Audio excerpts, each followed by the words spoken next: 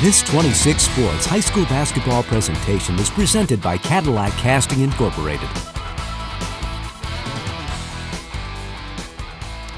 And welcome back, Cadillac High School. Jay Simon and Kevin Gregory. Three quarters in the books. And the fourth quarter about to start as the Cadillac Vikings turned a four point halftime deficit into a one point lead as the final eight minutes coming upon us. And you mentioned at the end of that third quarter, Kevin, that if you're the Wildcat coaching staff, you want to get out and run a little more in that second half. Right now, though, the Vikings are making a living at the free throw line as they've been able to get it down low, draw fouls. Unofficially, 14 of 19 from the line through three quarters, whereas the Wildcats just two of 10 from the charity Wow. stripe. Yeah, I mean, they want to get on run. We've talked about it all game long. But listen, if Cadillac smartened up at halftime, which clearly they did, and they put a spy on the person that's flying, well, you just, you physically cannot throw that full court pass if it's not there. And so take away that eight or 10 points in the first half that they got off of it, and might have been a, a different score at halftime. Brooke Cunningham called for the walk, so it'll be Wildcat basketball.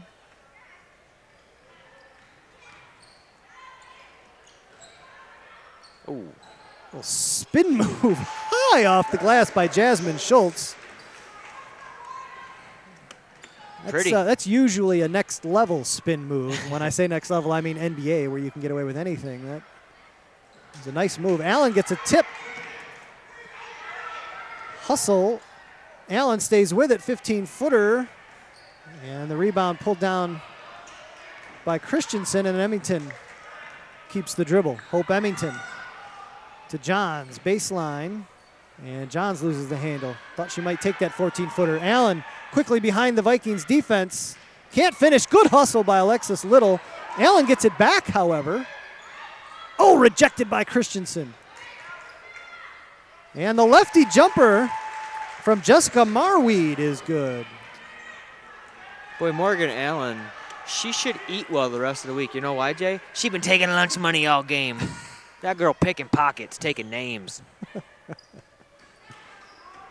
6.35 to go here in the game. Emmington, three ball. Here comes Jor. Two on two here. Smith. Good looking jumper. Alexis Smith wide open. And both head coach Mary Kay Johns and Kevin Gregory up here think a timeout is in order. And Mary Kay is out of 30 seconds, so this will be a full timeout. Yeah, it's a good timeout. Uh, Clock continues to run, and now it has stopped. So they'll have to put a little bit of time back on the clock. Some discussion from the officials. That's a good timeout. I mean, that's not the way you want to start the fourth quarter for Cadillac. You made that push in the third quarter, caught all the way back up, took a one-point lead into the fourth. What happens? A couple fast breaks, a couple turnovers. Next thing you know, blink your eyes, and Alpena's and they're shooting. They're up five.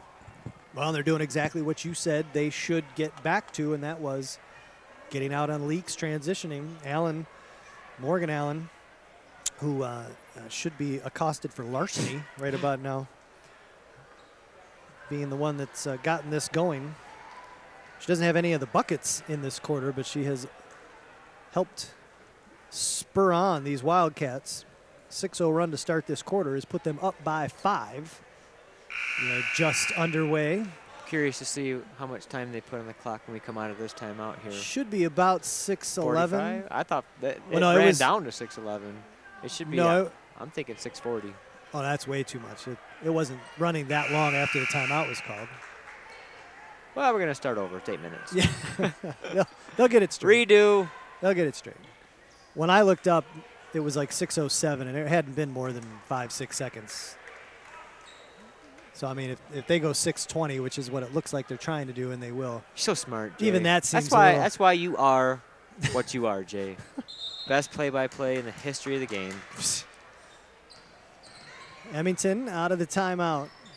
Kleinsorge now on the floor with four fouls. Dealing with a trap, and we're going to get a timeout.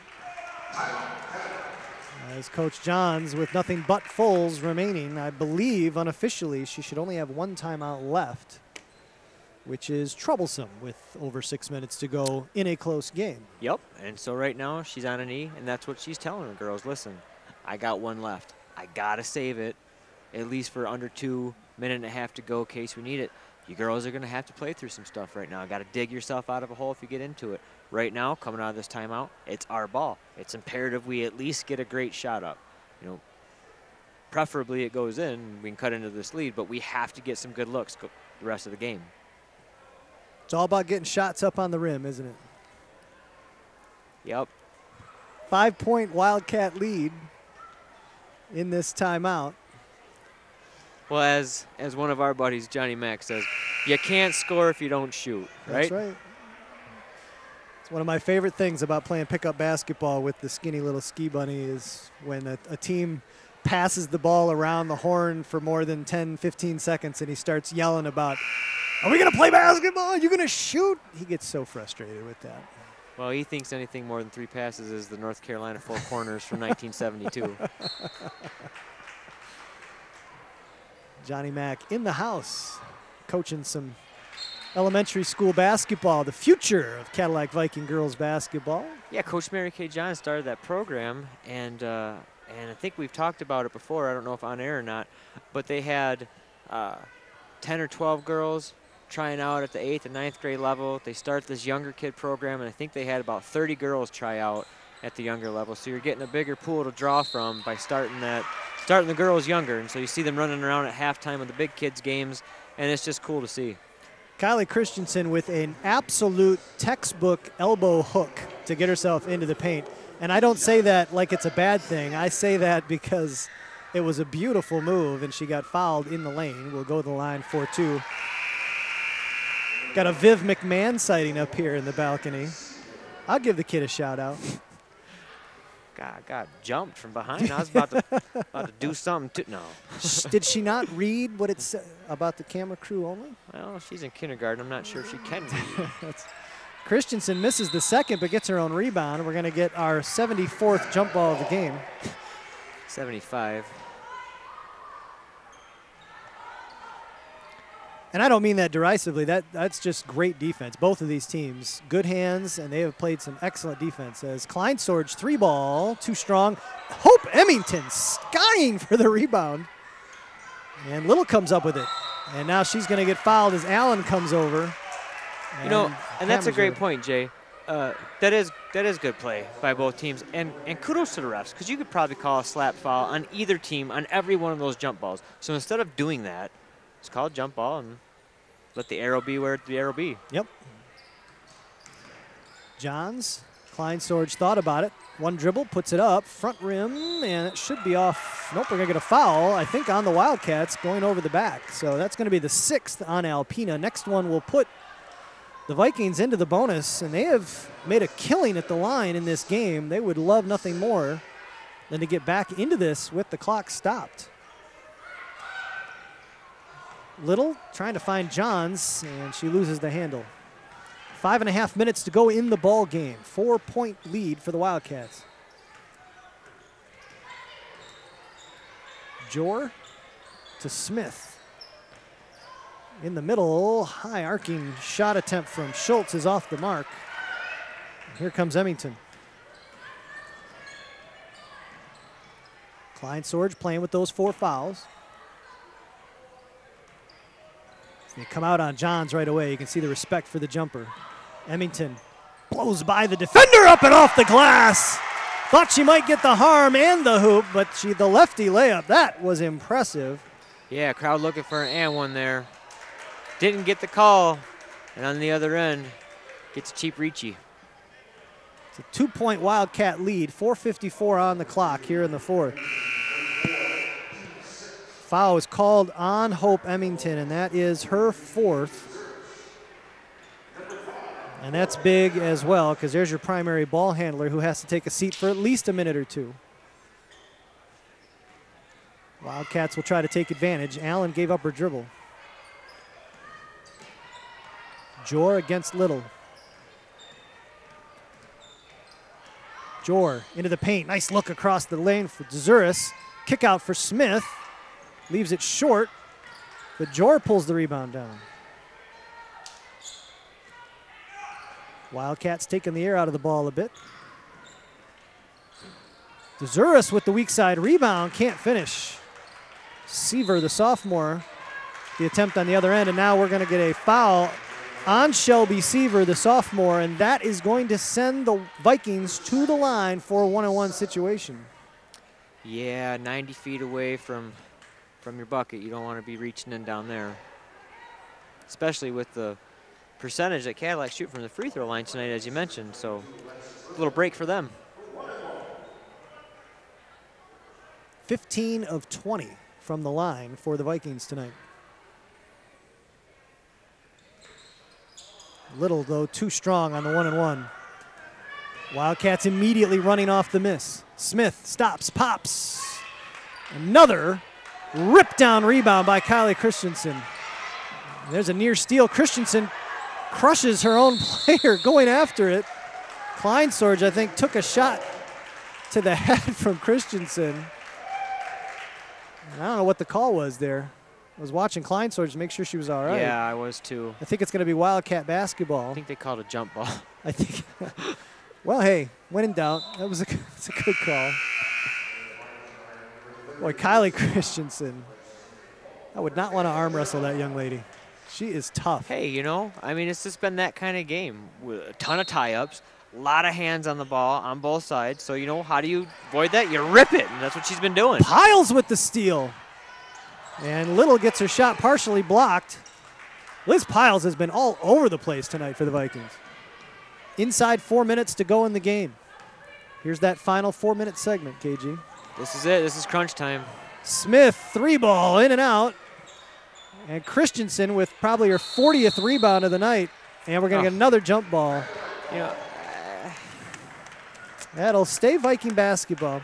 I know you find that a little bit frustrating because there's two hands reaching in. Kylie's ripping that ball around. It's it's tough to say that you're getting that ball clean without fouling, but you got to give the officials credit tonight. They have been consistent with that. They have not called cheap ones terribly often in those situations. As Christensen misses one from the right post, and now we're going to get a foul on Christensen. and, and, and, and I think if you're I think if you're Mary Kay Johns right now, boy, it's hard to. That's an It's ironic. it's hard to I know exactly. this. I know hard exactly what you want to say. I know exactly what you want to say. You got you got your girl on one end, you know, and it appeared there's two green jerseys around her, uh, trying to get a hand on the ball. Okay, no problem. We're gonna get a strong rebound. If we get a jump ball, we get a jump ball. You try and do the same thing on the other end, and you don't get called. That's frustrating. But you know what? Sometimes what you think is a call going against you just gives you an opportunity to overcome that. That's all.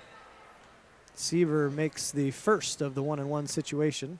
That is my best effort to put a positive spin. Misses the second. Kleinsorge with the rebound. Well, and I wonder too if sometimes, in all seriousness, these, these referees are human. They have their own tendencies. You know that they switch positions, you know, on, on either end. Maybe it's a situation where, as the Vikings turn it over on this end, where you have one official on the baseline on one end and a different official on the baseline on another, and you just, you never know. It's as I said, and I mean it genuinely. It is one is, of the two yes. hardest jobs in the world, and I want is. nothing to do with it. So it is a very difficult. I give these job. gentlemen a lot of credit, and ladies that, that officiate basketball. I give them a lot of credit. Three point game, three minutes to go here in the fourth. Wildcats trying to hold on. There's a nice looking jumper. Jessica Marweed does not get off the ground very high with that lefty jumper, but she has been on the money all night long, and she gives her team a five point lead. They set some very firm picks at the free throw line. Alpena does on the their offensive set. Kleinsorge with the missed jumper, and the crowd, as loud as I've heard them all night, does not like that call. They felt that went off of Alexis Smith. That was a tough one from our angle. Looked like it might have gone off Smith's shoulder, but again, you got to make that call quickly. Jor looking for somebody, and Kelly Miko calls a timeout for the Wildcats with 2.26 remaining in the ball game. Wildcats lead by five. I believe they do have a 30 second timeout remaining, and that's what they're going to call. Well, you got 2.26 to go, and you're down five. What are you drawing up in the huddle? Well, for me, still a lot of time. It's only a five point game, two, most likely three possession ball game. You're on defense right now. Your goal, try and get a quick hit. Maybe Cadillac comes out in their in their man-to-man. Maybe they trap out of it. Try and put a little pressure on the guards and see if they can't get a quick steal. On the other end of the floor, I say keep doing what you're doing. They're getting good looks. They're getting a lot. They're not they're not hitting a ton, but they're not taking terrible shots down there. So you, you want to draw something up for Christensen on the block. Maybe Michaela Johns flashing in the middle for the little 12-foot jumper that she's so good at. And you still have that one timeout in your back pocket that they've been able to bank for this last four or five minutes. Well, you got to wonder too, with 2:26 to go in a very, very physical game, and Alpena has a much deeper bench. If the Vikings might not just be wearing down a touch here at this point, we'll see what they got left in the tank. Marweed's jumper is off the mark. Smith with the rebound, back to Marweed from the paint, and Christensen pulls it away. Vikings get the stop they needed. They trail by five. Alpena looking to stay within shouting distance of TC Central in the conference race. There's a nice no look from Kleinsorge to Johns. Emmington, three ball. The bank is open. Hope Emmington with a huge three pointer cuts it to two with a minute 55 to go. And there's a near poke away by Little. That was only a half Johnny Mac. She did not put an arm Right. on the shoulder. She used the opposite hand. So that was that's a half Johnny Mac. And as I always say, it's in the handbook. You either get one friendly roll off the rim or one bank shot a game when you're at home. That, that's just how it goes. It's just how it goes. It's a rule. Well, and if that's the case, head coach Mary Kay Johns probably very happy with that particular bank shot. That was huge. The Clutch. sophomore Emma Jor, yep, with a huge free throw, front end of the one and one. She's a sophomore, huh? Yep. The guard future is bright in Alpena. Yeah, she's got a great handle, and she makes it a two possession game.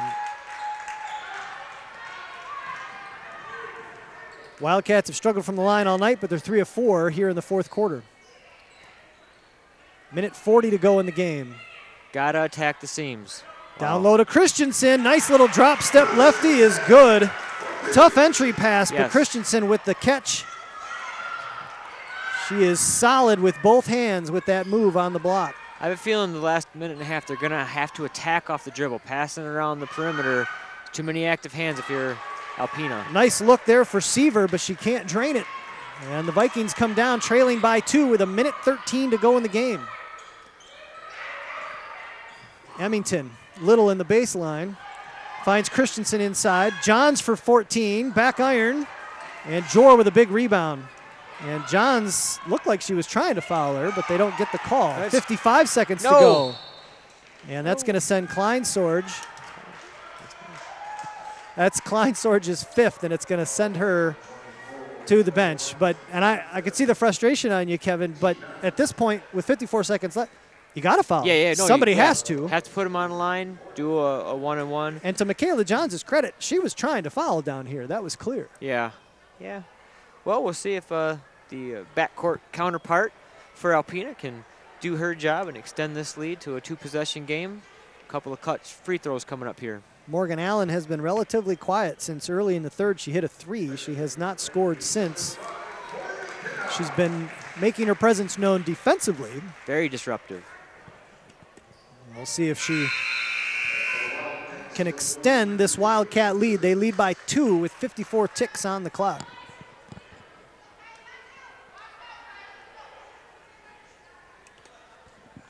Coaches Miko and McCourt for the Wildcats doing a little offense defense substitution because they can as Allen drains the first. I think you said two for 10 in the first half from the line. Much better job. Through three quarters, two for Oh, 10. wow, okay. Much better job at crunch time for Alpena. Alpina will call a full timeout. Well, they're no doubt setting up off of a make or a miss here. A little token pressure if it's a miss. Uh, and if they make it, I would uh, expect some full court pressure um, for Alpena. Kind of putting a little pressure on Cadillac, not letting them bring the ball up and, and get into their sets. So late in the game, the more time it takes them to cross half court, the less time they have to catch you, right? Yep. This is a big free throw coming up for Morgan Allen, the senior. If she drains it, Wildcats make it a two possession game. If not, the Vikings have the ability. Kylie Christensen can hit threes. We know Michaela Johns can hit threes. Hope Emmington has shown an ability to hit Tim Duncan like bank threes. So there are shooters on this Viking roster. Maybe the bank's still open. You never know. Got a Todd Hamlet sighting in the crowd, head coach of the McBain Ramblers, who will take on these Cadillac Vikings later in the season. Those two teams will meet, I believe, in McBain on February 2nd. Boy, Hamlet's girls. Those were some ballers, huh? Yep, absolutely. Meredith and Anne Marie, the second, third and second kids. Anne Marie, the middle child. Meredith, the youngest, playing at Valparaiso. Allen hits a huge free throw to make it a four point game. And they're going to say Johns traveled. Took that little stutter step before she really had full control of the ball. That's a good call. Going for a quick steal for Cadillac. Full court pressure, try and get a quick steal. And Johns will commit the foul. Hope Emmington in the area, but you don't really want Emmington to commit it. She's got four as well. Wildcats in the double bonus. So Alexis Smith will go to the line for two. Nope, sorry, that's is that Schultz? Yeah. Jasmine Schultz. Yep. The hair. If they'd all just have our haircuts, you could see their numbers a lot better. I am sure they are Sure. very, very thankful. I try to offer my 13 year old daughter my skills, and she always turns me down. I can't Yeah. figure that one out.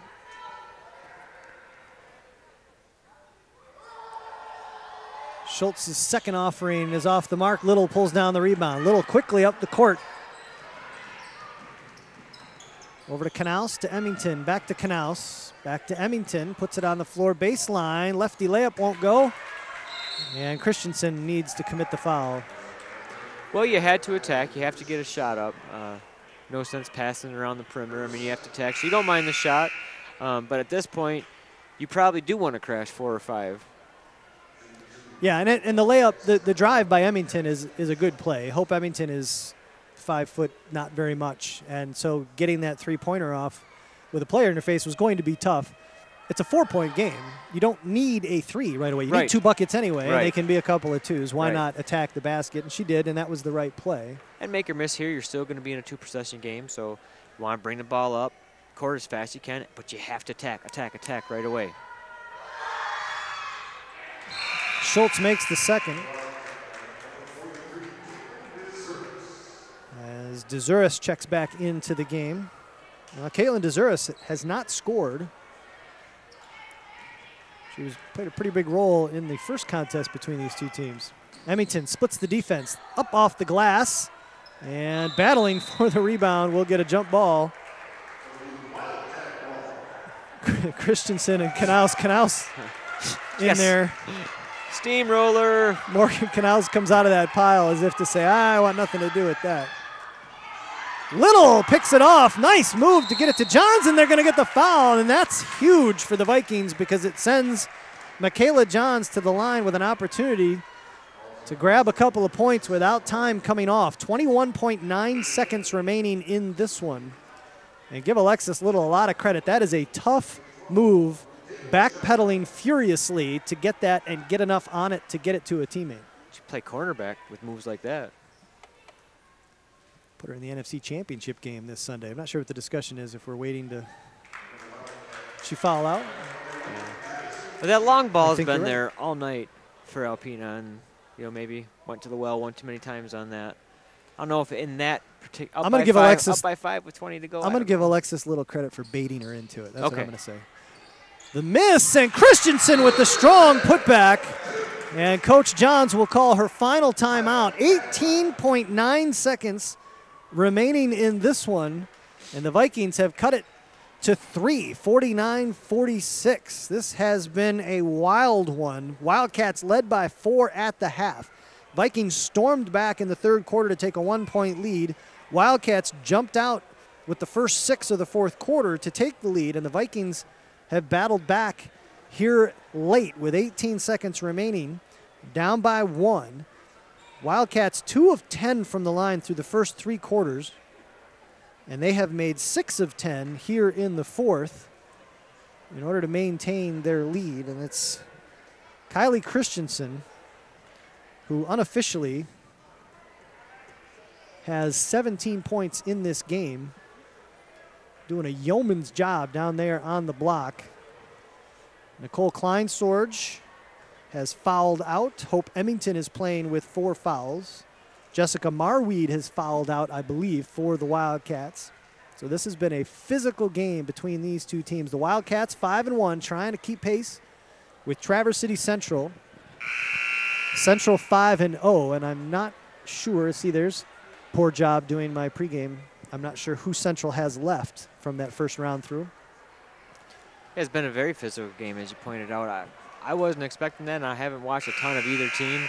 Uh, but yeah, a lot of hands-on balls, a lot of tie-ups, a lot of reach-ins.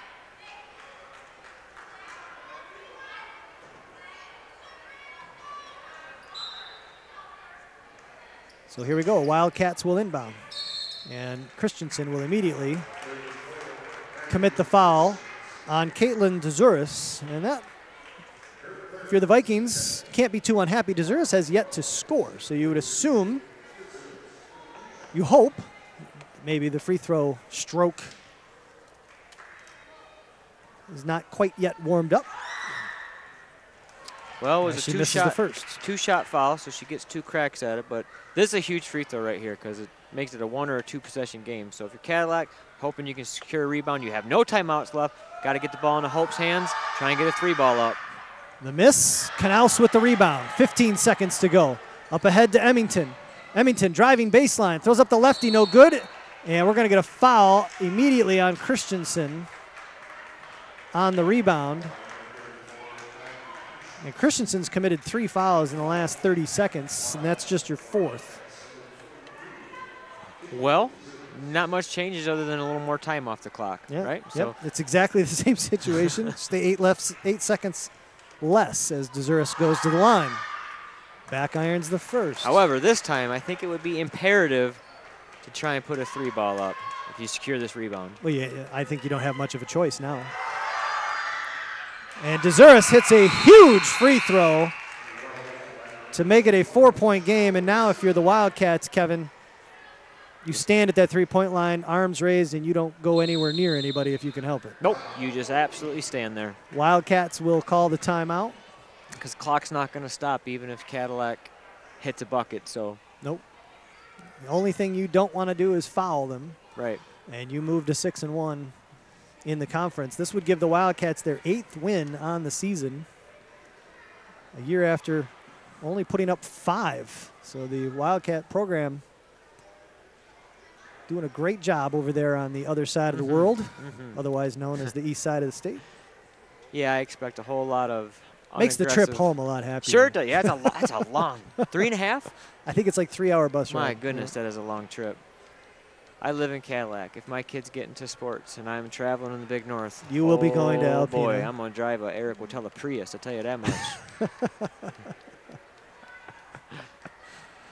Give Eric me Wattilla- that 50 miles to the gallon, son. That's a great segue. Eric Wattilla, our director, want to make sure we uh, give him a little love, as well as our camera crew, Wyatt Van Dynen, and Rain Johnson Hill, and Dakota Pike. Those young men doing a great job bringing you the images of this contest here on My News 26 Sports. Hey, want to let you know, Cadillac Casting Incorporated, uh, allowing us to even start this sports program. And we got to give them thanks here. Eight seconds remaining. Emmington quickly up ahead to. John, step back three ball, front iron. And that is how this one will end. 50 to 46. The Alpena Wildcats escape with the victory and move to 6 and 1 in the Big North Conference. We will collect some stats and be back with some final thoughts on this one. Your girls Big North game of the week here on My News 26 Sports. Post game show coming up in a moment.